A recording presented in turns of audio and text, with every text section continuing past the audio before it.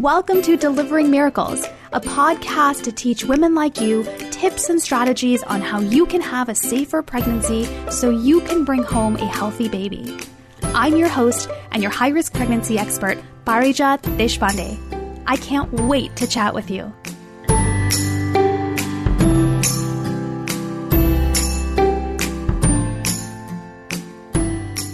When a couple is faced with fertility challenges, there's so much stress. There's the stress of not knowing what's coming up, the the fear that comes with not knowing whether you're going to be able to have the children that you've always wanted, the family that you've always wanted, the uncertainty, what's going to happen to your body or bodies if both of you are involved with the medical treatment that you might need. There's a lot of unknown, a lot of uncertainty, and all of that can put a strain on your relationship. And specifically, even if you're not doing fertility treatment and you're doing you're having to do timed intercourse where you have to make it really clinical, so many couples find that intimacy and connection is just gone. And really quickly, you go from being a couple that is enjoying your relationship to now your relationship being almost like a science experiment and everything becomes about making the baby. Whether you're doing timed intercourse or you're doing fertility treatment or you're doing IVF or any adoption, surrogacy, anything like that, it's really easy to develop tunnel vision when about having a baby because you want it so badly and you're having to jump through so many more hoops than most people to have to be able to get there. And there's a lot of couples, there are a lot of couples that speak to how much the strain of and the stress of fertility treatment actually impacted the quality of their relationship.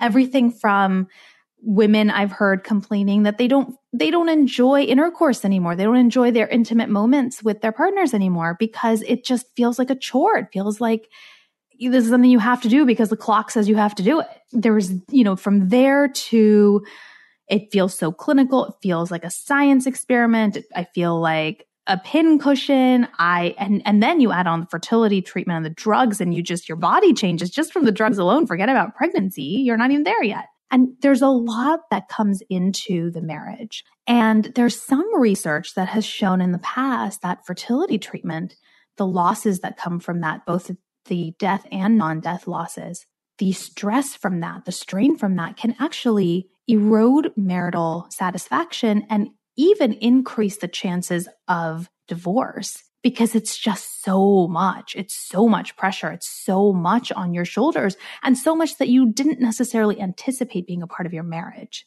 At the same time, an experience like fertility challenges can be an opportunity to come closer, to learn how to work together, to improve your communication, to improve your coping strategies, to strengthen your bond as a team so that you can get through it together. And that's what today's episode is all about. And I'm really excited for our guest today because this is what she does. This is what her whole life mission is about is helping couples, especially during a really difficult time like this. We know all about how baby changes marriages and all of that, but we don't really talk about how fertility treatment, which is well before baby, can actually do the same. And so I'm really excited to introduce you to Dr. Jennifer Lagrada who is going to be here to talk to us about how to protect your marriage and your relationship from the strain and stress that comes from fertility treatment. Dr. Lagrada is a therapist in practice in Parkland, Florida, and she specializes in working with couples. She's an expert on showing couples how to stop fighting and start communicating. I love that. Her passion is couples, and she's dedicated her work to exclusively working with couples. And her specialty is affair recovery, and she uses the atone, attune, attach method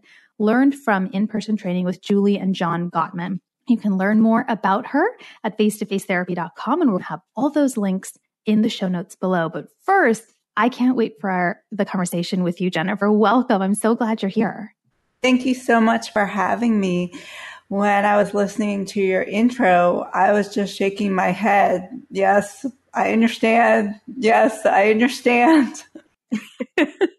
so you have both a personal and professional kind of foot in the door when it comes to couples couples work and fertility treatment specifically and infertility. Can you tell us a little bit about how you are involved in this world and what got you into it? Yes. Well, personally, I went through fertility struggles with both of my children and they are they just just started school today and they are eight and six now so i have to say that that it, it worked but I personally know the the struggles that you go through with fertility treatments. I know how difficult it could be on your marriage, on your body, on your mind and your spirit connection. And I help enthusiastically help couples understand that this is you, you both want this. Right.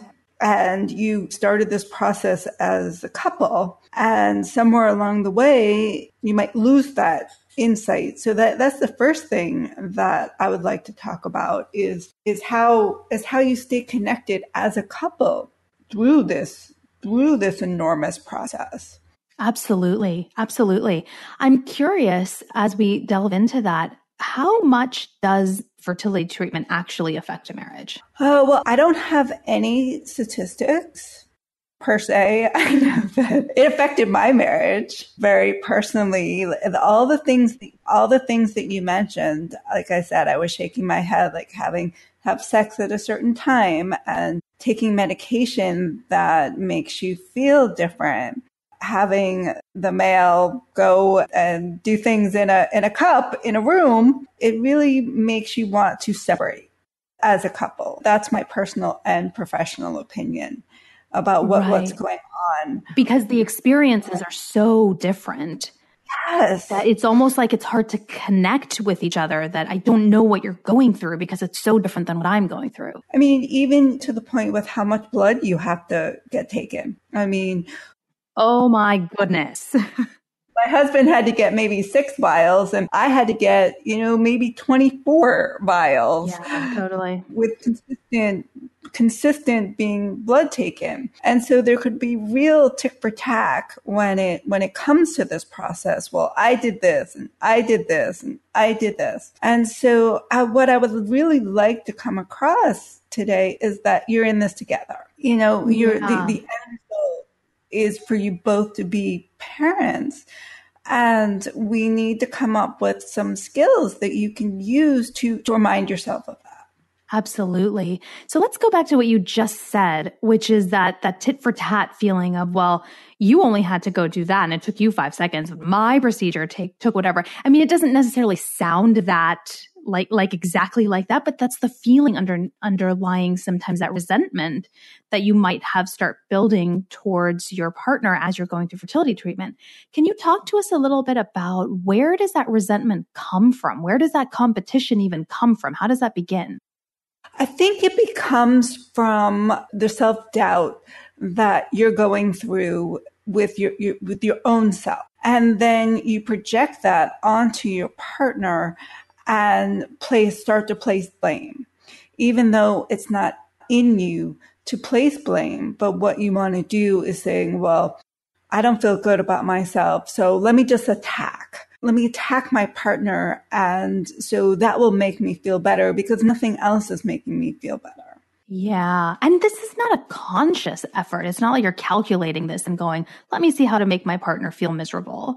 It no. just, it's almost like a knee jerk reaction, right? Like you're not even realizing that it's happening not you're not conscious of it but you know we we talk about this concept unconditional love and it's so unfortunate that we hurt the ones that are closest to us and who is closer to you in this partnership than your partner. You're going through fertility treatments together and you're experiencing the hurts, the pains, the physical pains, you know, having to, to do the shots and everything that comes about it. And you're going through this intimate, intimate moment with your partner. You feel so connected with them that you feel that it's okay to lash out at them, that it's okay. I'm going through this this is my thing and and somehow we'll just get through it. Yeah, right. And I wonder if there's a little bit of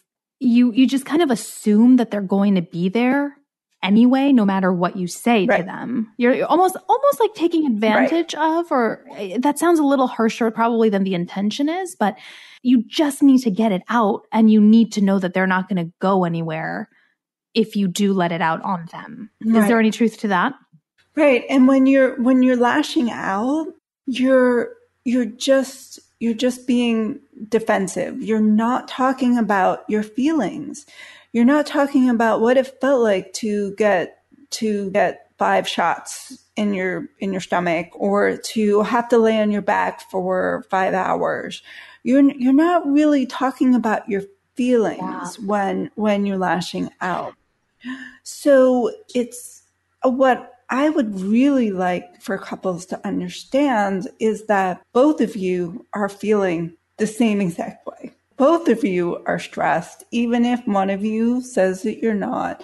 It's a very stressful time. And instead of lashing out, let's talk about those feelings. So I know many of our female listeners right now who are in heterosexual relationships are going, Yeah, that'd be great, but he won't talk to me.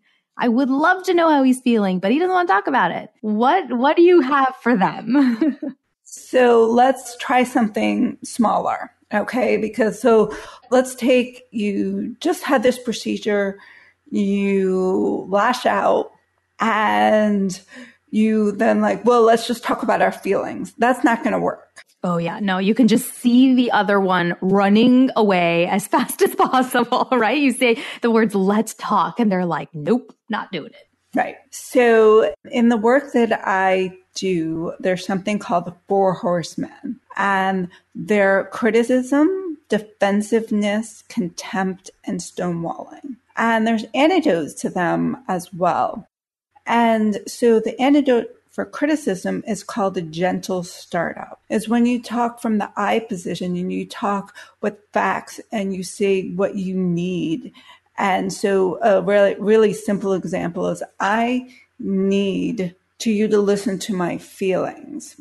And I want to be heard and listen to your feelings. You know, that is saying, saying something that way instead of saying, oh well you never talk to me. You know you're just a cold sponge that that i don't even know how i could be married to you. Right. So you're saying the same exact thing but the first one you're really talking about how you feel and the second one is you're you're being harsh i got to be honest that it takes a lot of restraint to do that, right? Because there are moments when you just, it feels like everything's on fire and you just want to lunge that fire over at your partner. And when you're under stress, emotional stress, you're under physical stress with the mm-hmm. hormones that you're on, you're not sleeping great, like your whole body is kind of messed up. It's really hard to control that. And I think when when you show yourself some of that compassion, it helps a lot to say, okay, you know what? I'm going through a lot right now. And this is really hard. But you kind of, you make sure to see your partner as your teammate and not the enemy. And that helps a little bit in, in softening that to be able to use these I statements I've found. Right. And what I find, and this is not for everyone, but what I find a lot of more women than men do is join support groups for women. And the women tend to get the support that they want slash need from other women. And the man is is their husband is left out. Now this is oh that's very interesting. Yeah in same-sex couples i'm not saying cut off the support groups please please don't don't do that they're but they're there for a reason They're very, very important. But what, like you said, a lot of women out there right now are like, oh, well, my husband won't talk to me. That's not true. It's, it's not. It's just, it's just the way that the conversation needs to happen in order in order to have it happen right so and i think tell me if this is correct and you practice this way too but i think a lot of it is you both need to feel safe enough to have that conversation.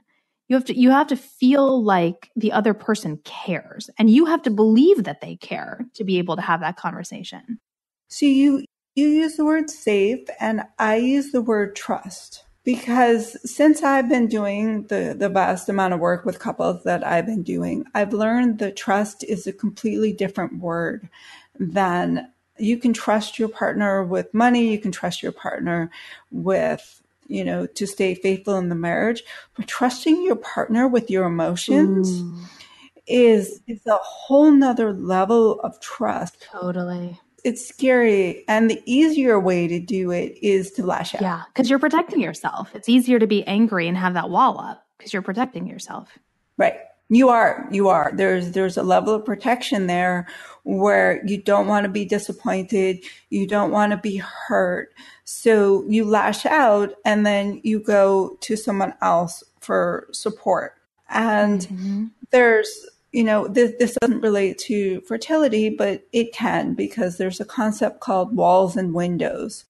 And it's by Shirley Glass. And she states that when you are in a relationship, you should have a wall around you. And you know each other's world, you talk about everything. But when things get complicated, things get stressful, you're going through fertility treatments, you're not talking, a window opens up from someone else and you you start talking to someone else more. It's easier. You talk to that other person and they're like oh they get it. It's this is so easy. But then you stop talking to your partner and it's really really important to keep that wall up around you and your partner and have the windows out to everyone else so you could stay connected as a couple going through fertility treatment that's a really nice visual. I think that that really beautifully describes that it's okay to protect yourself, but there are ways to do it to preserve that relationship that's so important and, and that's the foundation of this family that you're trying to build. Absolutely. Absolutely. It's so important. And and like you said, you know, when you when you have to plan when you have sex and you have to you do things on a schedule and all that spontaneity gets lost and the intimacy gets lost.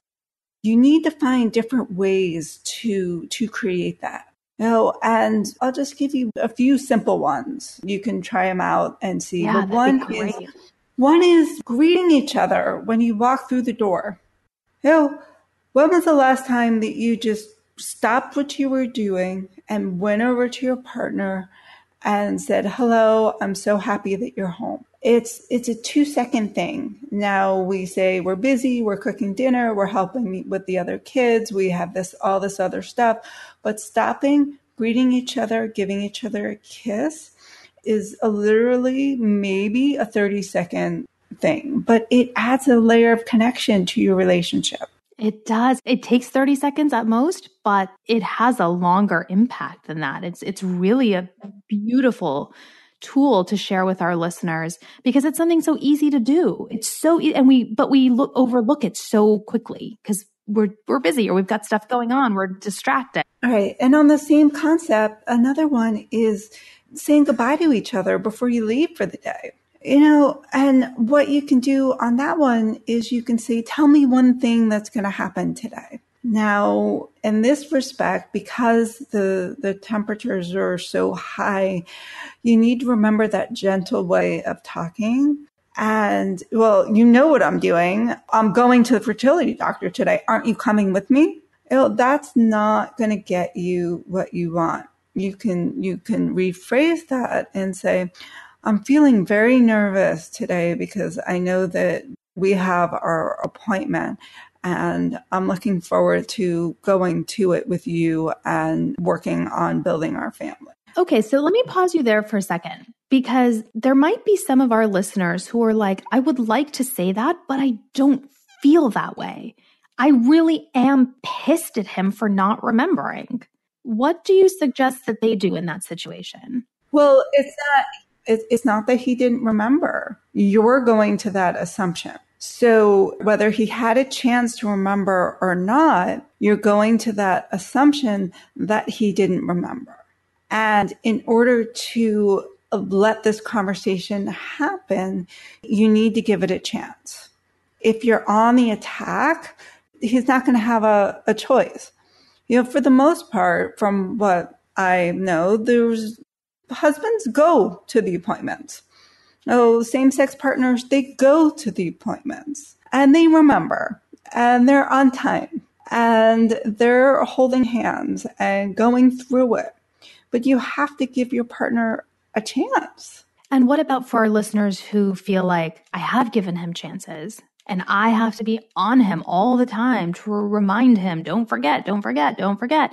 And I'm at the end of my rope and I just, I need him to carry some of the weight too.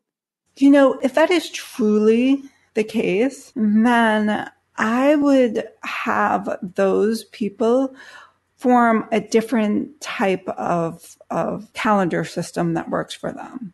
I mean, men in particular, we, we, my husband, we have a shared calendar and we can talk about things verbally, but if it's not written down for us, it just doesn't happen. And so we have learned that verbal communication just doesn't work for us when it comes to plans, whether it's, you know, something for our children, something for our relationship. If we have a date night, we, we put that on the calendar. But I think that for couples that are really struggling with this, they need to talk about, they need to talk about their schedule and what's the best way to communicate scheduling and how that would work best for both of them. I love that. So we are we're not in the middle of fertility treatment, but we are in the middle of a huge life transition in terms of moving.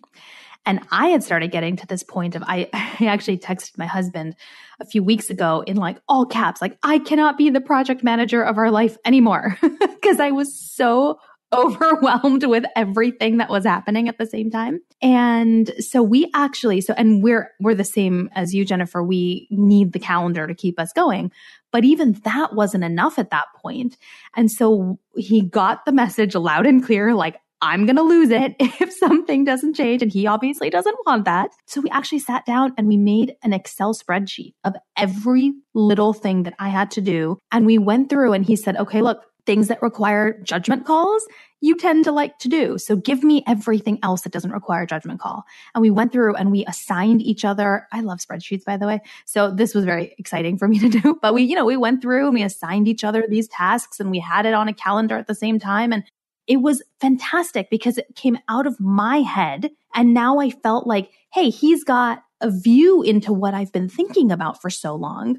And now he's got these tasks, which, you know, he's very task oriented. So it worked great for him too. And so I love that you're sharing this. And I have personally just recently experienced how powerful that is that when you find a system that works for you, it actually really addresses that overwhelm and that kind of feeling like you're doing it all alone when your partner really does want to be involved. We just haven't figured out the right way to do it yet. Right. And there, there is a right way to do it for everyone. Now, I'm sure some listeners are being like, Excel sheets. Oh, I can't do that. Which is very my, possible. Yes. My, my phrase statement is there's an app for everything. We also, my husband and I, we use an app called Keep. And we keep a running list of everything, especially grocery grocery list. That was that one was just a small, huge problem in our lives about what we needed for the store. And the app is on both of our phones. If someone sees something in the house and it's missing,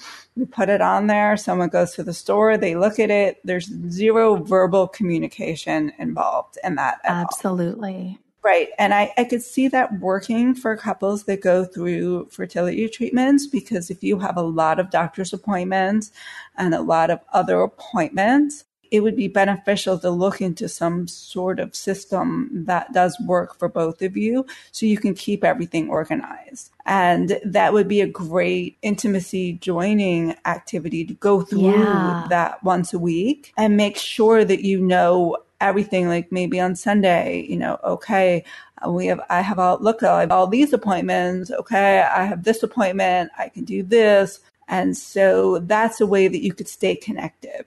That's so true. And what I love about it is it also creates this sense of it's the two of you versus the thing you're trying to overcome. It's two of you versus infertility or fertility treatment. It really joins you and aligns you together again, which I think is often missing during this process. Right. Right. And, you know, you started this process together as a couple. And that is the end result to end as a couple in addition to your family. And that, that's why you did this. You love each other and you love each other enough to go through this, this extremely stressful time in your life. And you need to remember that through, through the stress. And there's little things that you need to put into place in order to make that happen. Absolutely. I love that. And as Jennifer shared with me before we started talking today, her whole philosophy and what I hope you all take away today is that you don't have to choose between creating a family and your relationship. That even when it's a stressful experience, you can learn how to stay connected without spending a whole lot of time on it and still are able to work together as a team through the process. It is absolutely possible. Jennifer, what are your final words of hope for couples who are kind of in the thick of it right now. They want to grow their family, but they're really feeling the tension in their marriage at the same time. I would I want to say that that I know how you feel. And with all the stress that you are going through, what I really want you to to hold on to is the bond that you and your partner have. And the remember, this is the most important part that I want to stress is that the stress is outside of your relationship. It's not inside unless you make it. So you need to stay connected as a couple and keep that stress outside of your relationship. That's so beautiful and that's so empowering. That's I, I, love that that you said it that way. Where can people find you if they want to know a little bit more about your work and how you help couples and if they're looking for additional support? I have a website. It's face to face therapy.com. I also have a Facebook page where I do a few articles. It's f2ftherapy.com. And I'm also on Instagram. I have some pretty cool stuff on there that is the at symbol face to face therapy. If anyone wants to ask me any questions, please feel free to reach out. My email address is jennifer at face to face therapy.com and I will happily answer your questions. Ah, I love it. And we're going to have all those links in the show notes so you don't have to remember any of that. It'll be right there, easily accessible to all of you. Thank you so much, Jennifer, for being here on the show and talking about this. I think we talk a lot about preparing for fertility treatment physically, but we don't talk enough about really the foundation of fertility treatment is our marriage and our relationship with our partner. So I so appreciate you doing the work that you do and for coming on and sharing some of your wisdom today. Oh, thank you so much for having me. I am so happy that we, I was able to help you start this conversation about relationships and fertility treatments. Yes, thank you. Gosh, this was so needed, right? Who talks about this? Nobody talks about this when you're, right? Like, think about it. When you're trying to have a baby and it's not working out as easily as you had thought, where do you go next? You start temping, you start charting, you start looking at ovulation predictor kits, you start potentially talking to fertility specialists. Who's talking about the really the main thing that's here, right? I'm so glad that we did this episode today because I want you to know that it doesn't matter what the fertility journey is like. It doesn't matter what treatments you need. It doesn't matter any of it until you have a solid foundation with your partner who you're building this family with. And it is absolutely possible. As Jennifer says, you don't have to choose between building a family and your relationship. That even if it's a stressful experience, which it is for so many of us when we have to go through fertility treatment, even then you can learn how to stay connected without having to spend a whole lot of time. So you can work together as a team through the process. It's absolutely possible. Both she and I are living proof of this. There's so many people around us that are living proof of it and it can happen for you too. And if you are having trouble with that, or if you're not sure where to start, reach out to her. She's got so many tools. She's got a lot of support available and she's there for you. That's the foundation of your family. And it absolutely can be strong. You absolutely can be connected through all the madness, all the craziness, all the stress. You guys can do it together. Absolutely. I totally believe it. Thank you so much for joining me here today. And if you enjoyed today's episode, I would love it if you could head over to Apple Podcasts by iTunes and leave a review and subscribe so that more and more women can learn about delivering miracles and tune into the inspiration and the advice and the tips that we share on this show to help you create your dream family. And I'd love to stay in touch, so please come by and say hi. I'm on Twitter, Pinterest, Instagram, and Facebook, all at Parijat Desh. That's P A R I J A T D E S H. I know it's hard. Nobody wants to be dealing with fertility challenges. You want to be able to plan for a family, try maybe a month or two, and then get pregnant and have an easy pregnancy and bring the baby home. And when it deviates from that plan, even a little bit, it's hard. Give yourself that credit. What you both are going through is really hard. Accept that, acknowledge that, and really allow yourselves to go through it together, hand in hand, one step at a time. That's how you're going to overcome this. It's absolutely possible. Take it one day, one step at a time. You can do this.